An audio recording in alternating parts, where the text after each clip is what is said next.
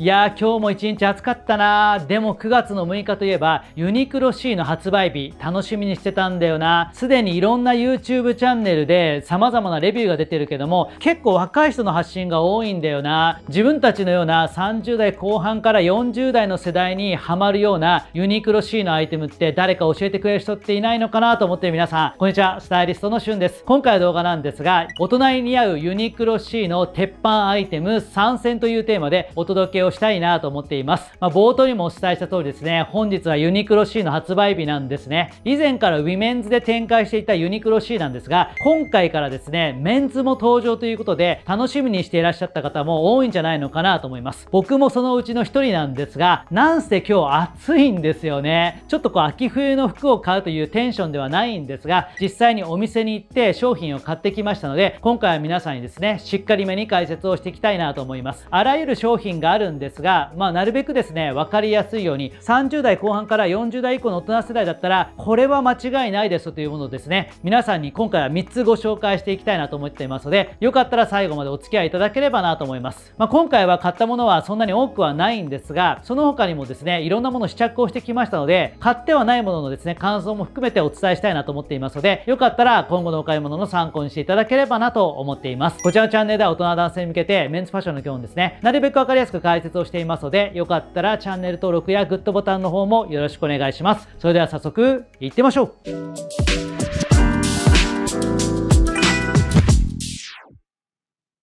はい、ということで、ここからはですね、具体的に僕自身が実際に買ったユニクロ C のアイテムを皆さんにご紹介をしていきたいなと思ってるんですが、まず1点目はですね、僕も今着ているこちらのニットですね、正式な商品名をお伝えしますと、リラックス V ネックセーターですね。価格は3990円、色はグレーを選択しました。カラー展開は4色になっていまして、今回購入したグレーがあって、ブラック、そしてベージュだとかオリーブもあるんですが、まあ、全ての色を見たところで、個人的にには最初のイメージ通りやっぱりグレーが断然素敵だなと思ってこちらを購入しました。まあ、見ていただくと分かる通りですねシンプルな V ネック型のニットになっています、まあ、ニットといえばここ数年は丸首が圧倒的にですね定番的な襟型と呼べるんですがその一方で V ネックというものもですねやっぱり昔からの定番的なアイテムでパワーバランスで言うとまだまだですね丸首が強いんですけども徐々にですね V ネックが復調してきてるというのが昨今の流れかなと思います。まあ、その辺りをちゃんと押さえながらですね V ネックあまり深くないんですね。リブが強めになっていましてちょっとしたアクセントになりつつ深すぎないですねこの襟周りの V ネック部分ですね。ここが個人的にはすごく気に入っています。下に白 T を着てあげると程よくですねバランスとしては見えてくれるのですごくいいなと思いました。公式のサイトでは白シャツなんかを着てたりするんですが僕も会社員をやっていた167年ぐらい前とかも白シャツに V ネックのセーターみたいな合わせってよくやったので、まあ、ちょっと懐かしさはあったりしてそれもいいんですが白 T ぐらいで合わせた方が個人的には今の感覚ではフィットするかなと感じています。で結構サイズ感が重要だなと思ってまして僕は身長1 6 4センチ5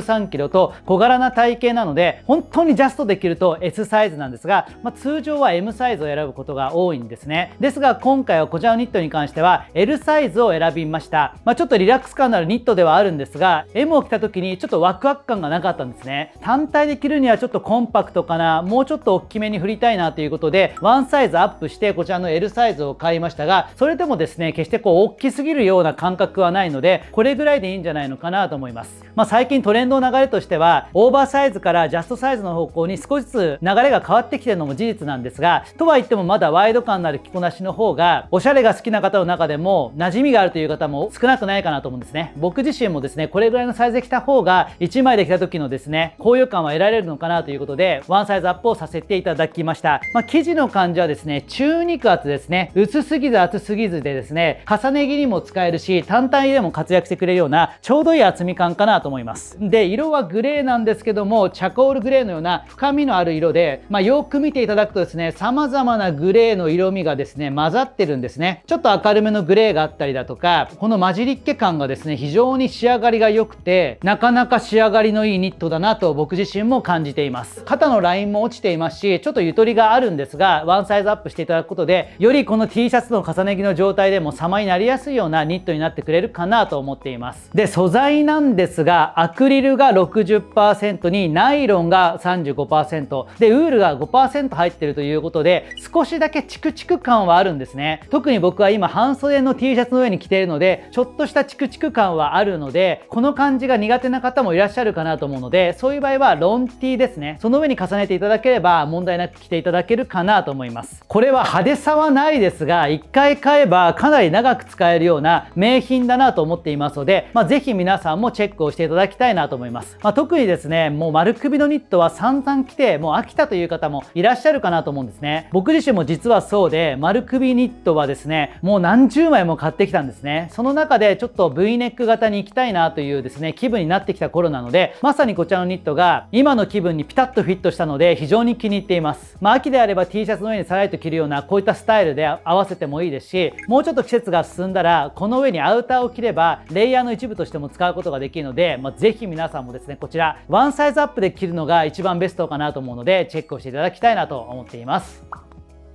はい、続いて2点目ですね。僕が購入したのが、今、実際に着ているこちらのコートですね。まあ、なかなか仕上がりが良くてですね、満足してるんですが、商品名はダブルフェイスコートですね。色は35番のブラウンを購入しました。価格は12,900円ということで、ロング丈のコートにしてはかなり買いやすい価格帯になってるかなと思います。事前の動画でもですね、こちらは一押しだということをお伝えしていたんですが、まあ、実際に着てみたらですね、やっぱり良かったんですが、いくつか注意点ががあるなというのもすごく感じたんですね。まずデザインから見てみるといわゆるですねステンカラーコートのような最もオーソドックスな形のコートと呼ぶことができるかなと思います。木をてらった部分もなくてですねサイズ感もですねオーバーに振りすぎていることもないので癖がなく使いやすいかなと思うんですね。ただここ最近のですねコートに比べると着丈のバランスですねちょっと短めなんですね。特にモデルさんが着てる写真なんかを見るとかなり短めなんですね、まあ、僕の場合はですねどのサイズを買おうかなと M と L でちょっと検討してみたんですが身長164センチで M サイズを着たところ、まあ、全体的なサイズとしては悪くないんですがやっぱり丈がちょっと短い感じがしたんですね。ですのでワンサイズ上げてこちらは L を購入しました。そうすることで、まあ、全体的にも程よくゆとりが出てですね丈の長さもちょうど膝の真ん中ぐらいに来るようになったのでこれだと短すぎる感じがしないので個人的にはワンサイズアップをですね皆さんに推奨したいなと思っています。もちろん足さばきがいいですね。短めのコートが良ければ、まあ、通常のサイズもいいかなと思うんですが、まあ、せっかくユニクロ C というですねトレンド感漂うレーベルのものを買うのであればワンサイズアップでも全然いいんじゃないのかなと思っています。でカラー展開なんですがこちらはちょっと柄が入ってるものなんですが無地のものもあるんですね。そちらも見たんですが正直あんまりしっくりこなくてやっぱりですね個人的にはこの千鳥格子柄の入ったですねこの一着がなかなか仕上がりがいいんじゃないのかなと思います。なかなか伝わりづらいかなと思うんですが色としてはブラウンベースではあるんですけどそこに対してオリーブだとかベージュだとかそういった千鳥格子の柄がですね並んでいるんですね。結構凝った柄になっていましてこの辺りも上品な雰囲気は漂うかなと思っています。で素材なんですがポリエステルが67%でウールもちゃんとですね33%入ってるのでチープさがないんですね。変な光沢感もないですし上品な仕上がりになっています、まあ、ダブルフェイスということでしっかりと厚みもありますし表面がこういった柄ですが、まあ、内側見てもですね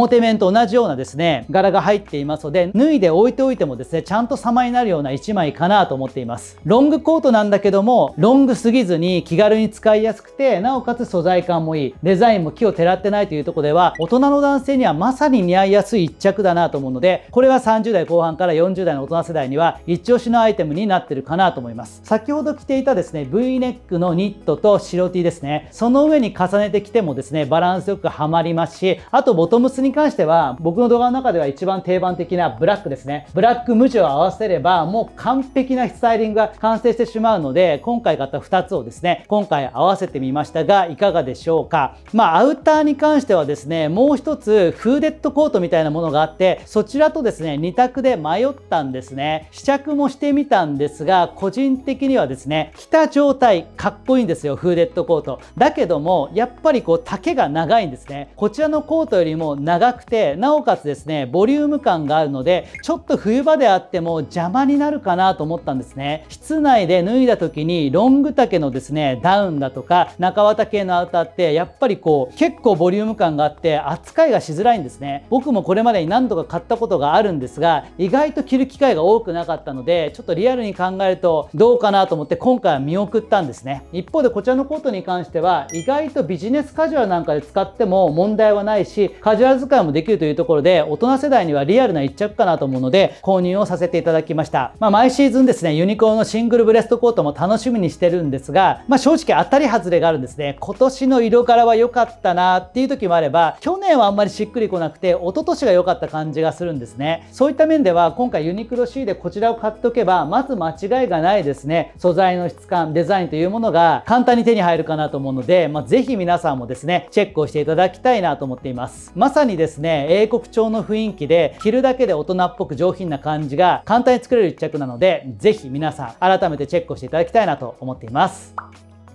はい、続いてラスト3点目はですね、こちらのスニーカーですね。まあ皆さんもですね、予想通りだったと思います。これはですね、事前レビューの段階でも皆さんにご紹介していましたが、やっぱり実物を見ても非常に仕上がりが良かったので、思わず購入をしてしまいました。商品名はですね、スウェードコンビネーションスニーカーということで、僕が買ったのはですね、ブラックの方ではなくて、オフホワイトですね、こちらを購入しました。価格が4990円で、サイズはですね、25.5センチを購入しました。普段ですねニューバランスですとかサロモンですとか僕の持ってるスニーカーは大体ですね26センチだったりするんですがあいにくですね26センチがすでになくて店頭にあった25.5センチ履いたら、まあ、全く問題なく履けたのでそちらを購入させていただきました、まあ、通常の25.5に比べるとややゆとりがあるような気がするんですが、まあ、ぜひ皆さん足を入れてみてですね確認をしてみるといいかなと思います、まあ、デザインで言うと、まあ、シンプルではあるんですがいわゆるこうジャーマントレーナーっぽいようなディティールが見られるような一足なんですね、まあ、パーツとしてこの甲の部分にスウェードパーツが付けられていますね。あとはこのですねヒールの部分にもスウェードパーツが付けられているので本当に真っ白なスニーカーに比べるとちょっとしたアクセントが効いているんですね。あとはこの層の部分ですね。ここが、ま、地層のように白とオフホワイトとブラウンという形で3層構造になってまして横から見た雰囲気もですねすごくバランスがいいです。ソールのこのギザギザ感っていうのも横から見た時にもちゃんと伝わってくるのでちょっとこうミリタリーシューズっぽいような雰囲気も漂っていて個人的にはなかなかバランスがいいんじゃないのかなと思います。素材の構成を見てみると合皮と牛革というところで書いてあるんですが、まあ、スウェードという名前が入ってるので、まあ、この部分はですね牛革を使ってあってあとはこっちのこのスムースレザーっぽいところが合皮になってるかなと思うんですが、まあ、かなり表情が美しくてですねパッと見では合皮感っていうのはないかなと思うのでその辺りも含めてバランスはいいんじゃないのかなと思います。ただですねこういったシューズというのはちょっとくたびれてからがかっこよかったりするので現状ではですねちょっとこうまだ新品でですねこなれ感が出てこないなっていうところがあるのでガンガン履き倒すことを推奨したいなとは思ってるんですね。僕もジャーマントレーナーは大好きでいろんなものを持っています。まあその中でもマルジェラの一足にちょっと近いところもあってなかなかバランスはいいんじゃないのかなと思っています。でなんといっても価格が4990円っていうのは驚きですよね。まあ普通この価格では考えられないような仕上がりなので1足持っておいてまず間違いがないかなと思います。ちなみにですねまだちょっと動画化はできていないんですがこちらですね。無印良品とリーボックがコラボレーションしたスニーカー。これもうすでに動画は撮ってあるんですが今回のユニクロ C の動画の方が先に出ちゃったので今後の動画で楽しみにしていただきたいんですがこの2つをですね比べていただくと僕はいいんじゃないのかなと思っています。ユニクロ派なのか無印派なのかっていうところで結構分かれるんじゃないのかなと思います。無印リーボックに関しては割とですねパーツ使いで言ってもシンプルなのでよりミニマルな印象です。ユニクロジャーマンに関してはちょっとこうパーツ使い凝ってるので、まあ、仕上がりとしてはちょっとアクセントが加わるような形になってるかなと思うので結構派閥が分かれるんじゃないのかなと思います。価格的な優位性で言うとユニクロがちょっと安いんですよね、まあ、5000円しないところで無印が確か8000円とかそれぐらいだったと思うので結結構ですねこの2足は競合になってくるんじゃないのかなと思うんですが皆さんはどっちが好きですか？是非ご意見をいただければなと思っています。個人的にはどっちが好きかというとこれ名言数のなかなか微妙ですがちょっとやぼったさが入ったこっちのジャーマントレーナーっぽい感じが好きなのでユニクロかなっていう感じはするんですね。無印もすごくよくできていてこの価格帯にしてはコストパフォーマンス最強かなとは思うんですが是非この辺りを検討しながらですね選選んでいただければなと思います、まあ、コーディネートは簡単で先ほどのようにロング丈のコートにユニクロ C の V ネックのニット着て黒パン履いてこのジャーマントレーナー風のですねスニーカーを履いていただければそれで着こなしは完璧に構成ができます。足元が白だとちょっと浮いてしまうかなと思うんですが首元から白 T を覗かせておけばここがうまくリンクしてくれるので収まりは良くなるかなと思うので今回購入した3つだけでも十分ですね秋冬の着こなしが完成してしまうのでこれはもうマスターピースだと思います、まあ、買ったばかりの状態ではまだまだですね完成度としては7割。使い古してからが本領発揮かなと思うのでぜひ皆さんもですねチェックしていただきたいなと思っています。